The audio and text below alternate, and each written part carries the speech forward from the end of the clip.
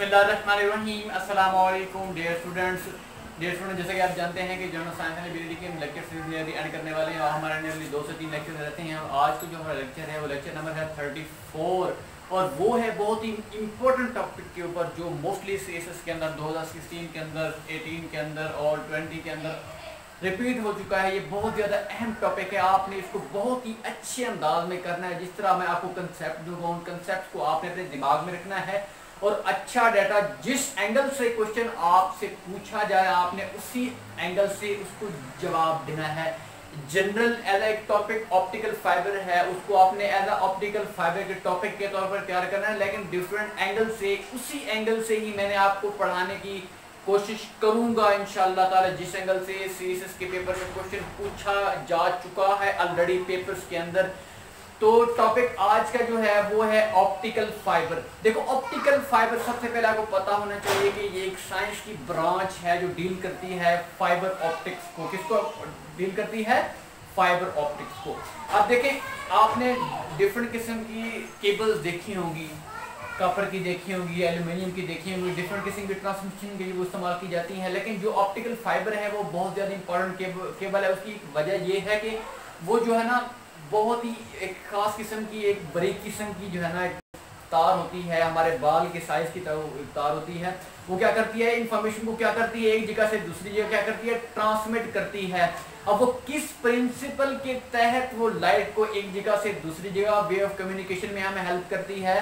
वो कौन सी ऐसी टेक्निक है? वो ऐसा कौन सा प्रिंसिपल है जिसके तहत वो लाइट एक जगह से दूसरी जगह क्या करती है? ट्रेवल करती है।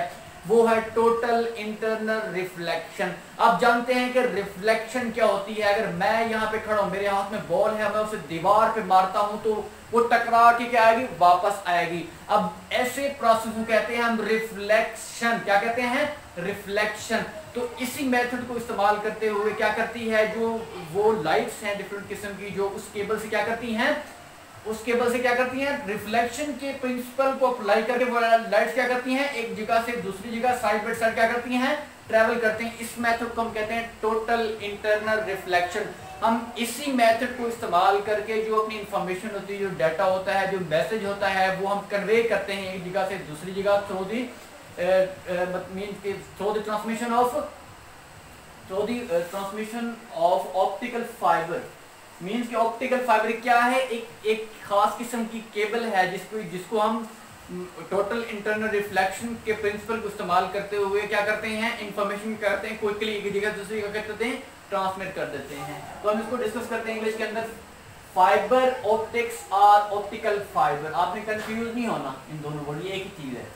Refers to the science of transmitting देखो, क्या ट्रांसमिट करती है? डाटा वॉइस इमेजेस क्या करती है? Data voice images by the passage of light देखो लाइट क्या करेगी? उसी लाइट्स के थ्रू क्या होगी? ये जो डाटा है, ये वॉइस है, जो इमेज है, वो क्या होगी? ट्रांसमिट होगी. थ्रो दी थिन क्या होती है? बहुत ज़्यादा थिन एक केबल होती है और ट्रांसपेरेंट फाइबर के थ्रू जिसे हम क्या कहते हैं? ऑप्टिकल फाइबर या फाइबर ऑप्टिक्स कहते हैं. इट इज़ मेड ऑफ़ गिलास उस गिलास का नाम क्या है? सेलिका ये आपसे एमसीक्यूज के अंदर पूछा जा सकता है कि जिस, वो कौन सी चीज़ है जिससे हम ऑप्टिकल फाइबर बनाते हैं? वो क्या है? सेलिका या प्लास्टिक ये क्या होती है? थिनर देन ऑफ़ और ह्यूमन एयर ये जैसे हमारा बाल है। इस बाल से भी क्या होती है? पतली होती है। The fibre optic cables use use the application of total internal reflection मैं आपको ऑलरेडी ये चीज़ बता चुका हूँ कि कौन सा जो प्रिंसिपल है, उसको ड्रॉप करके जो होती ऑप्टिक ऑप्टिकल फाइबर क्या करती हैं? अप्लाई होती हैं यूज़ होती हैं। Facilitate the propagation of light मतलब टोटल इंटरनल रिफ्लेक्शन का जो प्रोसेस है, वो क्या करता है? फैसिलिटेट करता है। For the transmission of for the propagation of light अब ये देख सकते हैं, मैंने यहाँ पर डायग्राम बना के आपने डायग्राम हर बना लिया इसके लिए। अब देखो, मैंने ये केबल बनाई है। ये केबल में क्या हो रही है? यहाँ से इंसिडेंट हो रही है वेव ठीक है ना? यहाँ से फिर रिफ्लेक्ट होती है, फिर यहाँ पर रिफ्लेक्ट होती है। फिर आगे जा रही है। इस तरह क्या हो रही है? देखो मूवमेंट हो रही है। इस तरह क्या करते हैं? लाइट क्या करती है? पास करती है इस केबल के अंदर। ये इसको हम कहते हैं, ये जगह जो इसको हम इनर कोर कहते हैं इस केबल की। और इसको हम कहते हैं क्लैडिंग ये पार्ट है डिफरेंट इसके ऑप्टिकल फाइबर की। आपने डायग्राम ज़रूर ड्रा करनी है। आप देखें, मैंने क्या की? मैंने यहाँ पे इंसिडेंट जो है ना, एक लाइट डाली। ये इंसिडेंट इसको हम कहते हैं इंसिडेंट एंगल जो है। इसको कहते हैं क्रिटिकल एंगल अब देखो Q1 Q2 ये क्या हुई? इससे मूवी फिर आ गया इस तरह। इसने, इसे कहते हैं टोटल इंटरनल रिफ्लेक्शन इसमें क्या होता है? जो इंसिडेंट एंगल होता है, वो क्या होता है?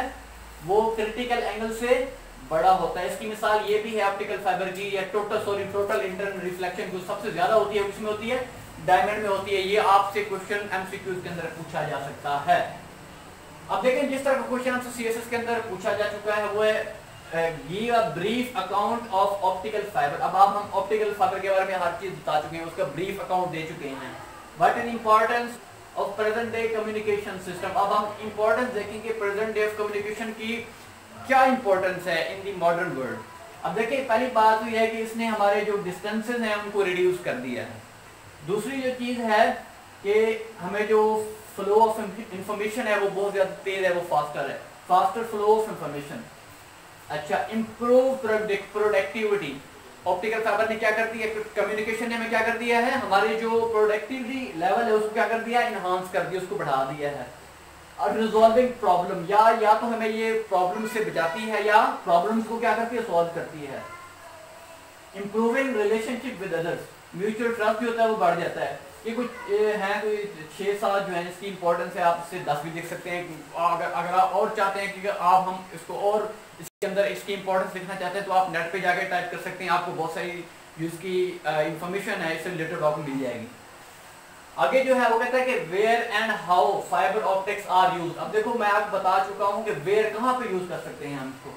देखो, पहली बात तो ये है कि पहले हमने क्वेश्चन देना है कि वेयर कहाँ कहाँ पे हम फाइबर ऑप्टिक्स इस्तेमाल करते हैं। पहली बात तो यह है कि सिंपल बात है यूज़ एज अ मीडियम ये क्या होता है? एज ए मीडियम के तौर पर यूज़ होता है। क्योंकि मैंने आपको बताया कि हमने वो जवाब देना है जिस तरह क्वेश्चन में हमसे पूछा गया है, जिस तरह हमें रिक्वायर किया गया है। Use as a medium for communication telecommunication and computer networking means के एक मीडियम के तौर पर इस्तेमाल होती है किसमें? टेलीकम्युनिकेशन सिस्टम के अंदर और कंप्यूटर नेटवर्किंग के अंदर।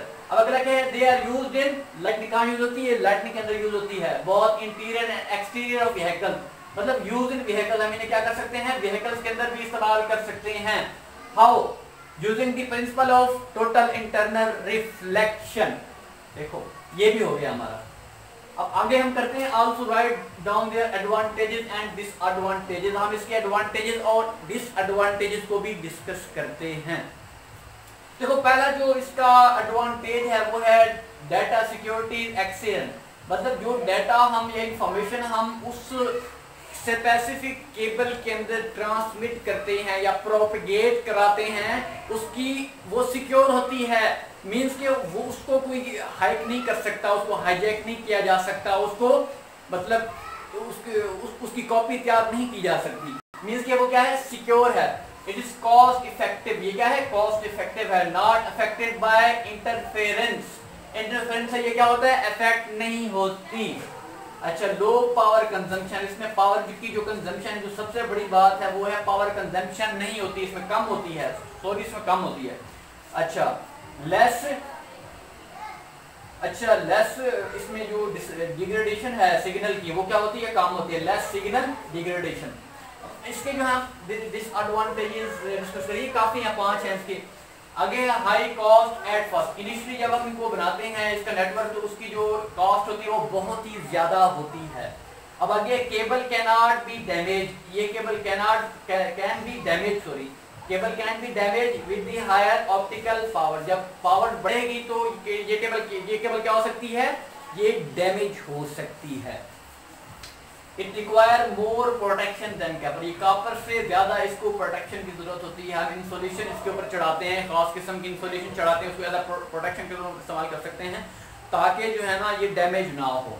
अच्छा it it can be broken ये क्या हो सकती है? ये टूट सकती है। तो फ्रेंड्स ये था हमारा आज का लेक्चर जो बहुत ज़्यादा इंपॉर्टेंट था। आपने इसको क्या करना है?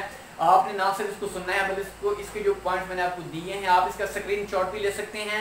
अगर आप स्क्रीनशॉट लेना चाहते हो आप इसको राइट लिख भी सकते हैं। अगर आप लिखेंगे तो इंशाल्लाह ताला आपको इसको दोबारा सिर्फ़, आप सिर्फ़ इसको दो मिनट देखेंगे, उसके बाद आपको ये टॉपिक तैयार होगा और आपके पाँच से छह नंबर क्या हो जाएँगे? जनरल साइंस के सिक्योर है क्योंकि ये इन ताला मुझे एक्सपेक्टेड है कि ये 2021 के पेपर में सी के पेपर में आ जाए। इसके अलावा अगर आप मेरे चैनल पे नए हैं तो आपसे रिक्वेस्ट है कि मेरे चैनल को सब्सक्राइब कर लें, जो उसके साथ बेल का बटन दिया उसको आपने प्रेस कर देना है। इसका फ़ायदा क्या होगा? इसका फ़ायदा ये होगा कि आपको हर नई इन्फॉर्मेटिव वीडियो आपको मिलती रहेगी। अगर आपको ये मेरे, मेरी जो कॉन्ट्रीब्यूशन है, ये पसंद आई हो तो आपसे रिक्वेस्ट है कि आप इसको लाइक कीजिए और अपने उन दोस्तों को शेयर कीजिए।